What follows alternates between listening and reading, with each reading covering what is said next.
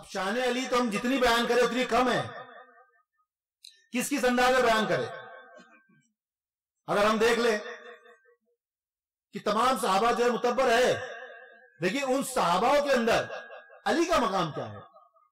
کیونکہ متبر جو ہے، وہ کب ہوتے ہیں؟ ہمارے کہنے سے نہیں، تمہارے کہنے سے نہیں۔ جب ان کو اللہ اس کا رسول بہتر کہے۔ صحیح بات ہے؟ ہمارے کہنے سے ہو جائیں گے کیا؟ کہ یہ متبر ہے، یہ کمتر ہے؟ نہیں ہوں گے۔ اللہ اس کا رسول کہے کہ یہ متبر ہے، تب تو ہم بھی کہیں گے ہاں بہتر ہے وہ وہ متبر ہے وہ۔ کب کہیں گے، جب اللہ اس کا رسول کہے۔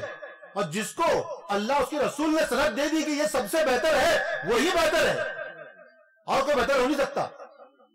اب بہتری کے لیے کہ تمام صحابہ میں متبر کون ہے؟ کون سے صحابی ہے تو اب ہم ایک مکس میچ کریں گے، ایک ہم لوگ اس طریقے کی گفتگو کریں گے جس سے یہ پتا چل جائے کہ بھئی کون متبر ہے۔ تو سب سے پہلے کیا علی کے سوا کسی کی کعبے میں ولادت ہوئی ہے؟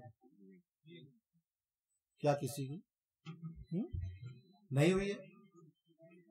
تو سب جانتے ہیں کہ ایک ہی ہے کعبے میں جن کی ولادت ہوئی۔ کیوں ہوئی؟ کیا وجہ ہے اس کی؟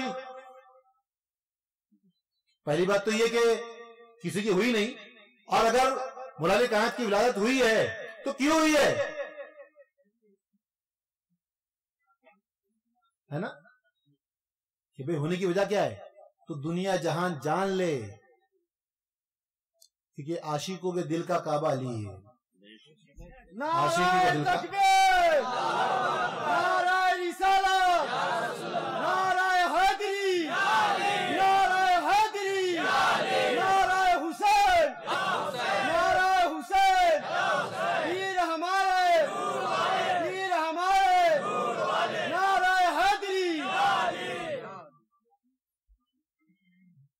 تو سب سے پہلا کہ کسی کی ولادت آج تک بھی کعبے میں نہیں ہوئی۔ پھر اب یہ مرتبہ کسی کو حاصل ہے کیا وہ بھی دیکھ لو۔ آپ تولید ہوئے، آپ کی ولادت ہوئی۔ تو سرکار دو عالم صلی اللہ علیہ وسلم کی آگوش میں سب سے پہلے آئے۔ ہے کسی کے پاس یہ مقام؟ نہیں۔ سب سے پہلا دیدار دنیا میں کسی کا کیا تو وہ نور پاک صلی اللہ علیہ وسلم کے چہرے مبارک کا کیا۔ سب سے پہلے آنکھ کھولی تو۔ ہے کسی کے اور مقام؟ ہے کوئی ان کے برابر؟ ہے کیا؟ نہیں ہے۔ اب یہاں پر ہم نے دیکھا کہ مولا علی کائنات نے آنکھیں کھولی، پیدا ہوئے، پہلی جو چھبی دیکھی، پہلی صورت دیکھی، وہ ہم سب کے آقا مولا صلی اللہ علیہ وسلم کی دیکھی۔ اس کے بعد تین دن تک آپ نے دودھ نہیں پیا۔ آپ بھوکے رہے۔ جب تین دن تک آپ نے کچھ نہیں پیا، دودھ نہیں پیا، تو سرکار دو عالم وسلم کو بلایا گیا۔ کہ علی جو ہے، وہ تین دن ہو گئے ہیں، لیکن دودھ نہیں پی رہے ہیں۔ وہ بھوکے پیاسے ہیں۔ دنیا کی کوئی غذا نہیں لے رہے ہیں۔ تو سرکار صلی اللہ علیہ وسلم نے آپ کو اپنی آگوش میں لیا، اپنی گود میں لیا۔ اور اپنی زبان مبارک علی کے منہ میں دے دی۔ اور علی جو ہے، اس زبان کو چوسنے لگے۔ اس نبی پاک صلی اللہ علیہ وسلم کے لواب دہن کو آپ نے چوسا۔ سب سے پہلی غذا کسی کی نور پاک صلی اللہ علیہ وسلم کے منہ مبارک کے لواب دہن کی ہے تو بتاؤ۔ ایک کی بتاؤ۔ پہلی غذا کیا ہے؟ لواب دہن۔ مولالی کائنات نے نبی کے زبان کو چوسا۔ اور اکابرین فرماتے ہیں کہ جب علی نے اس زبان کو چوسا تو اس لواب دہن کی برکت سے تمام علوم جو نبی کے علم ہے وہ تمام کے تمام علوم جو ہے اسی وقت علی میں آ گئے۔ بے شک بے شک۔ اسی لیے سرکار وسلم کیا فرمایا کہ جو مرتبہ جو مقام موسا کے لیے ہارون کا ہے۔ وہی مرتبہ میرے لیے علی تیرا ہے۔ نعرہ حیدری نعرہ حیدری نعرہ حسین۔ نعرہ حسین۔ پیر ہمارے۔ پیر ہمارے۔ نعرہ حیدری اب ہم نے دیکھا کہ یہ ولادت ہوئی ہے۔ اسی موقع پر تین چیز۔ کعبے میں ولادت پہلا دیدار نبی کا دیدار، پہلی گدا نبی کا لواب دہن۔ ہے کسی کے پاس؟ ہے کسی مرتبہ یہ؟ کسی کے پاس یہ مرتبہ نہیں ہے۔ جو مرتبہ میرے علی کا ہے۔ نہ ہے، نہ کبھی کسی کا ہوگا یہ مرتبہ۔ اب آپ کو کہا جاتا ہے، مولا کائنات کو کرم اللہ وجہ الکریم۔ یہ مرتبہ بھی کسی کے پاس نہیں ہے۔ یہ لقب کسی کے پاس نہیں ہے۔ کیوں نہیں ہے؟ کیا مطلب ہے اس کا؟ جتنے صحابی ہے وہ صحابی بننے سے پہلے کسی نہ کسی مذہب کو ماننے والے تھے۔ وہ بت پرست تھے۔ وہ مورتیوں کی پوجا کرتے تھے۔ وہ مشرق تھے، وہ کافر تھے۔ لیکن میرے علی کو یہ نہیں کہہ سکتے کہ وہ کافر تھے۔ وہ کسی بت کی پوجا کرتے تھے۔ وہ کسی اور دن کے باندھے والے تو نہیں کہہ سکتے۔ باقی تمام صحابیوں کہہ سکتے ہو تم کہ وہ مرتب تھے، وہ مورتی کی پوجا کرتے تھے ایمان لانے سے پہلے۔ لیکن علی جو تھے، انہوں نے کبھی خدا کے سوا کسی کو واحد مانا ہی نہیں، کسی کی بات کی ہی نہیں۔ اسی لیے ان کے نام کیا کیا لگتا ہے؟ کرم اللہ وجہ الکریم۔ ان پہ رب کا اتنا بڑا کرم اور احسان ہے کہ ان سے کبھی بھی بت پرستی نہیں ہوئی۔ انہوں نے اپنا سر کبھی بتوں کے سامنے نہیں جھکایا۔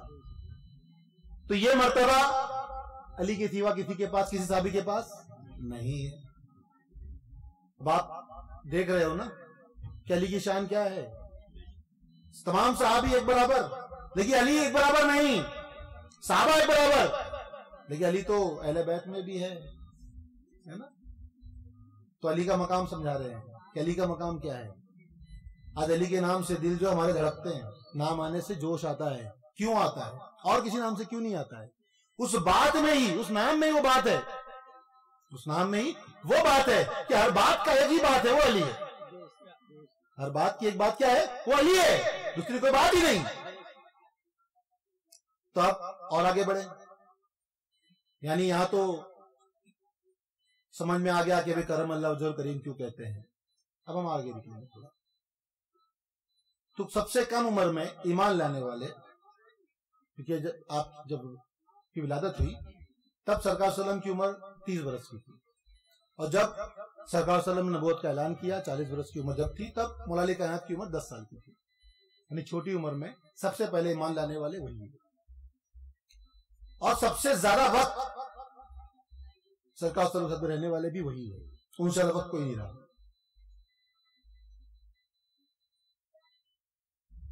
اب ایک سوال جو ہے، وہ ان لوگوں سے جو بچیوں کے بعد ہے بیٹیوں کے بعد ہے جن کی بیٹیاں شادی کی عمر کی ہے ان سے سوال ہے۔ اگر وہ لوگوں میں جب اپنی بیٹی کے لیے شوہر تلاش کرنے جائیں گے، تو کیا تلاش کریں گے؟ بہتر سے بہتر لوگوں میں یا کمتر سے کمتر کیا تلاش کرو گے؟ سوال کس سے ہے؟ بیٹیوں کے باپ سے۔ یعنی وہ بیٹیاں جو ابھی شادی کی عمر ہو گئی ہے جن کی۔ تو جب وہ تلاش کریں گے، تو لوگوں میں سب سے بہتر تلاش کریں گے۔ کم تلاش نہیں کریں گے۔ صحیح ہے غلط ہے نا؟ اب یہ سوچو کہ تمام صحابہ ایک برابر لیکن علی ایک برابر نہیں۔ کیوں؟ تمام صحابہ کے اندر سرکار دو عالم صلی اللہ علیہ وسلم کو جب اپنی لگتے جگر کا رشتہ کرنا تھا، اپنی جگر کا ٹکڑا دینا تھا، تو سب سے بہتر کس کو جانا، کس کو سمجھا؟ ارے بھائی بولو، کس کو سمجھا؟ علی کو سمجھا۔ علی کو مانا سب سے بہتر۔ سب سے بہتر متبر کس کو جانا؟ علی کو جانا۔ اب یہ وہی سمجھ سکتا ہے کہ جن کی بیٹیاں ہیں۔ اور وہ اپنی بیٹی سے بہت محبت کرتے ہیں۔ تو جب وہ اس کے لیے شوہر تلاش کریں گے، تو وہ بہتر سے بہتر تلاش کریں گے۔ وہ یہی تلاش سوچیں گے کہ جتنی میں محبت کرتا ہوں، اس سے وہ بھی اتنی کرے۔ نہیں ہم مجھ سے بہتر کرے، مجھ سے زیادہ کرے۔ جتنا میں خیال رکھتا ہوں، اس سے زیادہ کرے۔ جتنی میں ذمہ دار دیکھتا ہوں، اس سے زیادہ کرے۔ تو سرکار دو عالم صلی اللہ علیہ وسلم کو کون بہتر لگا؟ علی لگے تو کیا وہ تمام صحابی کے برابر ہے؟ سب ایک برابر ہے؟ نہیں ہے نا، کیونکہ ان کے پاس اہل بیت والا مرتبہ ہے۔ جو سرکار صلی اللہ علیہ وسلم نے عطا کیا ان کو، ان کے اہل بیت میں لیا ان کو۔ تو کیا وہ مرتبہ کسی اور کے پاس ہے؟ نہیں ہے۔ تو پھر علی کی شان بلند ہے تمام سب سے۔ اس سے بات سمجھ میں آ گئی؟ اب کچھ بات ایسی بھی ہے جو بیٹیوں کے لیے ہے، بچیوں کے لیے ہے، جو ماں بہنیں پیچھے بیٹھی ہے ہمارے یہاں، ان کے لیے۔ ان کو سرکار دو عالم صلی اللہ علیہ وسلم کی ذات مبارک پہ قربان جانا چاہیے۔ وہ دور جب لوگ اپنی بیٹیوں کو زمینوں میں زندہ دفنا دیتے تھے کنووں میں دھکیل دیتے تھے صرف اس وجہ سے کہ اور بیٹیاں ہو گئی ہے اور بیٹی جو ہے وہ کما کے نہیں دے گی، وہ ہمارے رکس میں سے کھائے گی۔ اس ڈر سے اس کو کہ وہ دور جب لوگ اپنی بچیوں کو زندہ زمین میں درگور کرتے تھے دفنا دیتے تھے یا کنویں میں دھکیل دیتے تھے۔ اس دور میں، اس وقت میں سرکار دو عالم صلی اللہ علیہ وسلم نے بچی کی عزت، بیٹی کی عزت آپ نے کر کے دکھایا۔ کون سے دور میں؟ جب لوگ بچیوں کو کچھ سمجھتے ہی نہیں تھے۔ تو آپ یہ سوچو کہ آج بیٹیوں کو عزت مل رہی ہے۔ تو سب سے پہلے وہ عزت دینا کس نے شروع کیا؟ وہ سنت کس کی ہے؟ بیٹیوں کو مرتبہ کس نے دلایا؟ تب سرکار دو عالم صلی اللہ علیہ وسلم کی شان مبارک دیکھو۔ اس دور میں جب بیٹیوں کو لوگ زندہ دفناتے تھے۔ بہت دھیان سے سننا خاص کر میری ماں بہنیں، کہ جو بات کہی جا رہی ہے نا، وہ عام بات نہیں ہے لوگ سمجھ نہیں پاتے اس کو۔ وہ خود بھی وہ چیز کرتے ہیں، غلطی کہ بیٹی ہو جاتی ہے، تو آج بھی وہ دور چل رہا ہے۔ جب تک کہ بیٹا نہ ہو، تب تک کہ وہ بولے بیٹی ہو رہی ہے، تانے بھی مارتے ہیں۔ اور وہ گھر کی ماں بہنیں بھی کرتی ہے، وہ بھی بیٹی ہی ہے۔ اس کے باوجود وہ بھی کرتی ہے۔ وہ سمجھتی ہے کہ بیٹا ہوگا تو ہی نسل چلے گی۔ بیٹا ہوگا تبھی نسل چلے گی، سوچتی ہے، ایسا کچھ نہیں ہے۔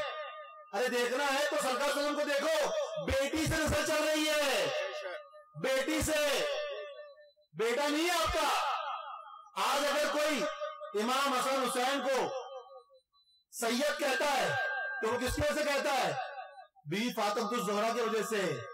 کیونکہ آپ کے والد نبی ہے آپ کے والد نبی ہے تو نبی سید ہے اور علی جو ہے وہ ہاشمی گھرانے سے ہے، لیکن ان کے نام کے پیچھے ہاشمی نہیں لگتا ہے، سید لگتا ہے۔ تو یہ دل سے رحم و گمان نکال دو کہ صرف اور صرف بیٹے سے نسل چلتی ہے۔ ہم جن نبی کے ماننے والے ہیں نا، ان کا خاندان بیٹی سے چلتا ہے۔ برابر ہے کہ نہیں ہے؟ میری ماں بہنیں سمجھے اس بات کو۔ یہ نہ سمجھے کہ بیٹا نہیں ہوا تو نسل ختم۔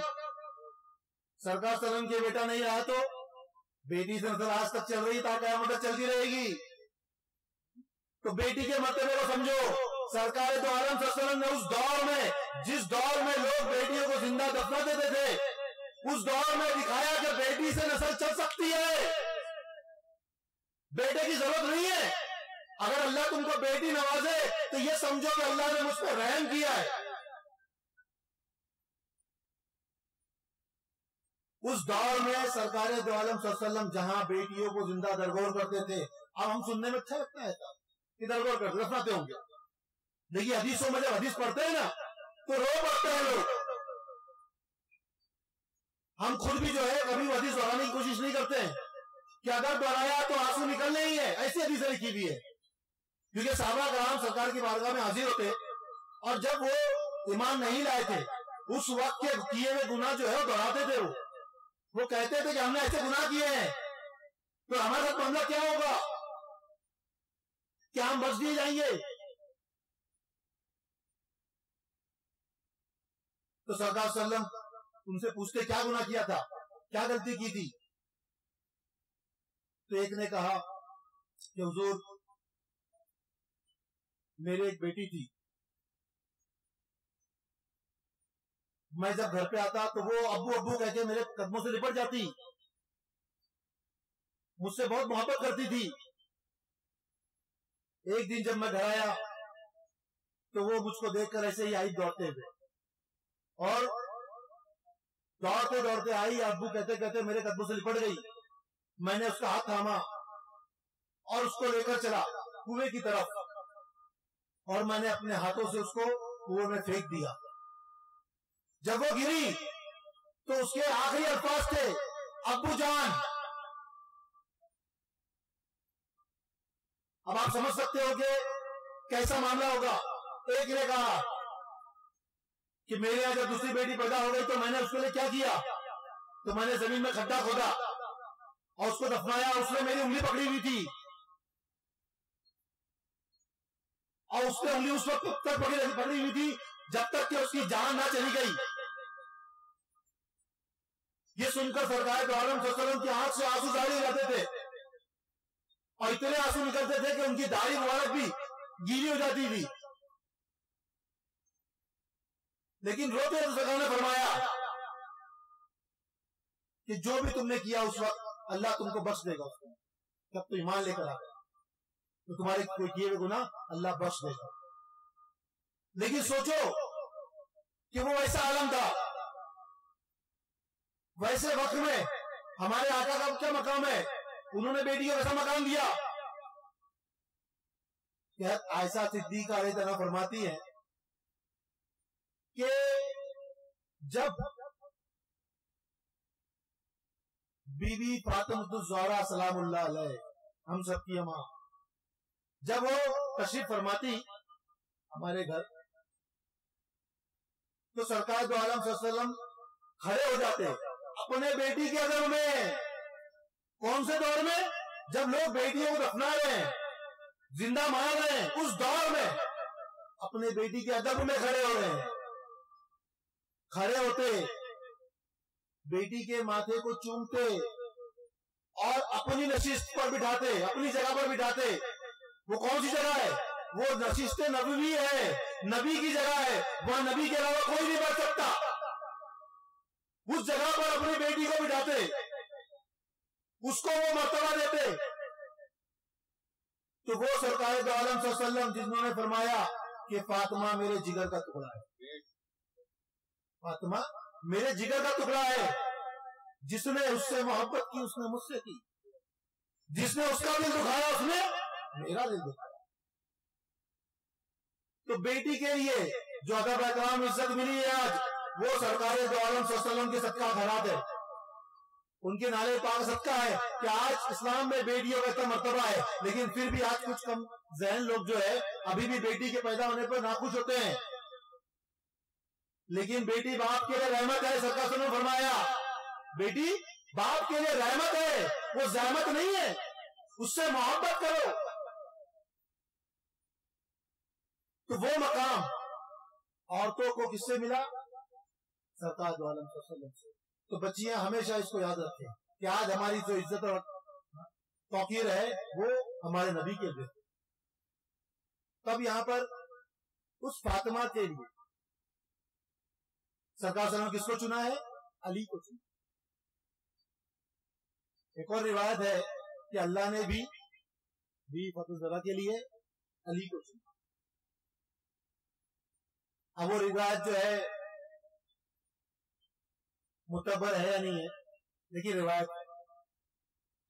بزرگ بھی ہو سکتی ہے ضعیف بھی ہو سکتی ہے، لوگ اس کو کاٹ بھی سکتے ہیں۔ اس لیے ہم نے اس کو بیان نہیں کیا تھا۔ لیکن وہ بھی کافی ہے۔ کہ نکاح تو ہو گیا ہے نا تو اللہ کی مرضی کچھ ہوتا ہے کیا؟ نہیں ہوتا نا؟ تو سرکار سلم نے چاہا، تو اللہ نے چاہا، تو سرکار سلم نے چاہا نا۔ بے شک۔ تو سرکار سلم نے فرمایا کہ جبرل امی آئے تھے۔ کیونکہ یہ حدیث جو ہے ہر سات بن ابھی وقاص ہے تنہا سے روایت اس سے ہر سات بن وقاص تنہا سے روایت ہے۔ کہ سرکار نے فرمایا کہ جبرل ابھی آئے تھے اور انہوں نے انہوں نے عرض کیا کہ اللہ نے حکم فرمایا ہے کہ فاطمہ کا نکاح علی سے ہوتا ہے۔ اب یہ روایت ضعیف ہے یا بزرگ ہے ہم کو نہیں پتا، لیکن پھر بھی ہمیں ضرور مانیں گے کہ اگر نکاح ہوا ہے تو اللہ کی مرضی سے ہی ہوا بہرحال، اب یہ تو مقام سمجھ میں آ گیا کہ سب سے تمام صحاباؤں میں سرکار دو عالم صلی اللہ علیہ وسلم کو سب سے بہتر کون لگے؟ اپنی بیٹی کے لیے لگتے جگر کے لیے، جس سے وہ بہت محبت کرتے ہیں، جس کا بڑا ادب کرتے ہیں، اس کی عزت کرتے ہیں، اس بیٹی کے لیے سب سے بہتر کون لگا؟ شوہر تو علی ہے۔ سمجھ میں۔ اب یہ مقام تو ہوا صحاباؤں میں۔ بہتر کی بات تو صحابہ میں سب ایک برابر۔ لیکن علی، اس میں سب سے بہتر، کیونکہ وہ صرف صحابی نہیں، وہ اہل بعد بھی وہ داماد پیمبر بھی وہ امام حسن حسین کے والد بھی ہے تو یہ مقام کسی اور کے پاس نہیں ہے۔ اور بہت ساری باتیں۔ سرکار نے فرمایا کہ سب کی اولادیں ان کی پشت میں ہے علی کی میری اولاد علی کی پشت میں ہے۔ میری اولاد کس میں ہے؟ علی کی پشت میں ہے۔ ایک روایت ہے، بخاری شریف کی حدیث ہے۔ حضرت عمر صدیق رہتا رہا اور مولالی کائنات ساتھ میں آ رہے تھے اور امام حسن حسین کھیل رہے تھے۔ تو حضرت صدیق دوڑتے ہوئے گئے، ان کو اپنے آگوش میں لیا اور کہا کہ تم نبی کی، میرے نبی کی اولاد ہو، علی کی نہیں۔ تم میرے نبی کی اولاد ہو، علی کی نہیں۔ تو علی جو ہے، وہ دیکھ کے مسکرا رہے تھے۔ اخبار سچ کہہ رہے کہ یہ اولاد جو ہے، بھلے ہی میری پشت سے ہے، لیکن وہ نبی کی اولاد۔ یہ مقام کسی اور کی اولاد کو بھی میسر ہے۔ یہ علی کی اولاد کو بھی میسر ہے۔ کیا کسی کو میسر ہے یہ مقام؟ یہ مقام میسر ہے۔